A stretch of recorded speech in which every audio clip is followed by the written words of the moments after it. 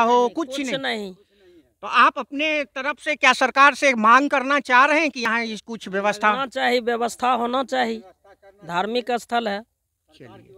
आप देख रहे हैं यहाँ की ग्रामीण सरकार से मांग कर रही है, और खास तौर पे मैं जिलाधिकारी मुंगेर मुंगेर का ध्यान आकृष्ट करना चाहूँगा, और उनके माध्यम से माननीय मुख्यमंत्री का ध्यान आकृष्ट कराना चाहूँगा। माननीय पर्यटक मंत्री, बिहार सरकार का ध्यान इस पर आकृष्ट कराना चाहूँगा कि इतनी बड़ी धरोधर मुंगेर की धरती पर सीता माता की चरण, जो कि सरकार की व्यवस्था और समुचित व्यवस्था से उदासीनता की शिकार हो रही है। चलिए, इसी कर्म एक बाबा है यहाँ। आपका क्या नाम है? तिलेश्वर महतो।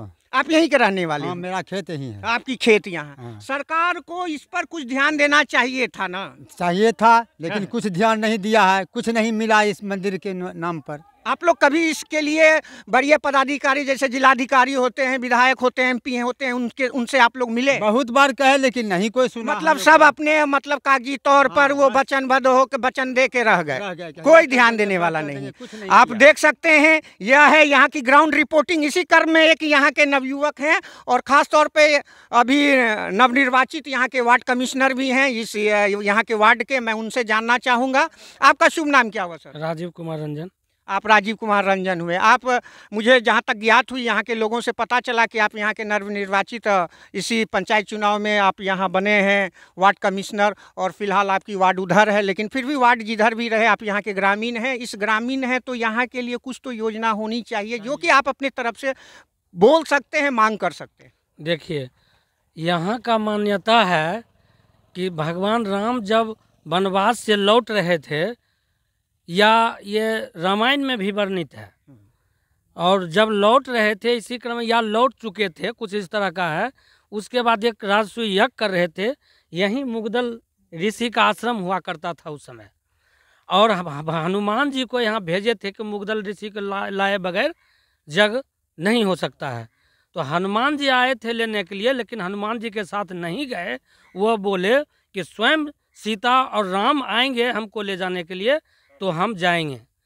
तो कहा गया है कि उस दिन छठ पड़ गया था।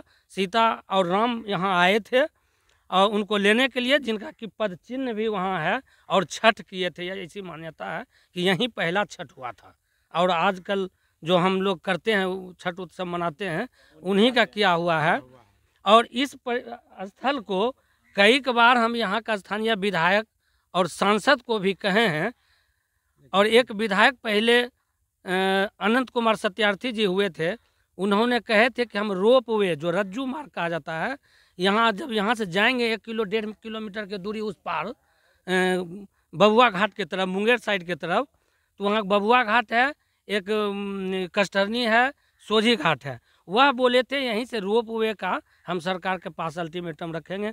दोबारे बेचारे नहीं आए, वो नहीं लड़े, नहीं हो सका, और यहाँ के वर्तमान विधायक प्रणव यादव को भी हम लोग कहे हैं कि पर्यटन के दृष्टि से अगर इसको किया जाए तो बहुत बड़ा है।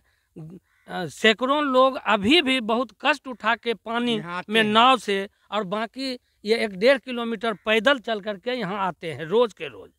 यदि एक पुल एक एक पिलर पर अगर दोनों तरफ़ छितरा के अगर रोड बना दिया जाए बबुआ घाट सोझे घाट कहीं से तो यह एक पर्यटन स्थल हो जाएगा और बहुत कमाई सरकार का होगा यहाँ से राजस्व का। यह पहाड़ है यहाँ। एक किलोमीटर के दायरे में पहाड़ है। अभी मिट्टी के नीचे चला गया। अगर इसी पहाड़ पर पिलर दे करके अगर छतदार बना दिया जाए तो कुछ भाग यहाँ देखिए पहाड़ भी दिख रहा है। हाँ, जो मेरे पीछे दिख रही है कुछ भाग यहाँ जी। पहाड़ का जो कि इसको मैना पहाड़ के नाम से जाना जाता है। जी जी। जी मैना पहाड़ आगे है। इसको देख रहे हैं उस छोर पे मैना पहाड़ है। उस छोर उसी का एक अंश है अंश है। मैं कैमरामैन से कहूँगा कि आप थोड़ा सा जूम करके दिखाएँ माता वहाँ पर जो पानी है माता वहीं छठ की थी और पानी रहने के कारण हम नहीं दिखा पाएँगे उनकी पद चिन्ह को लेकिन ये सच्चाई है हमने आँख से ऊपर में भी देखा था। मैं कोशिश कोशिश करूँगा कि उसको जूम करके दिखाऊँ। माता यहीं पर छठ की थी। वनवास काल से लौटने के क्रम में मुगदल ऋषि का ये आश्रम था और मुगदल ऋषि का ये कार्य क्षेत्र यहीं थी और यहाँ माता आई थी। बिहार की लोक आस्था का पर्व, पर्वों का महापर्व जो छठ होती है बिहारी, यही माता सीता के पर्व करने के बाद से बिहारी छठ करते हैं। इसी क्रम में यहाँ ग्रामीणों लोगों से मैं बात कर रहा हूँ और यहाँ पर एक बाबा हैं। बाबा से मैं जानने का कोशिश करूँगा कि बाबा, ये माता सीता का जो ये चरण है चरण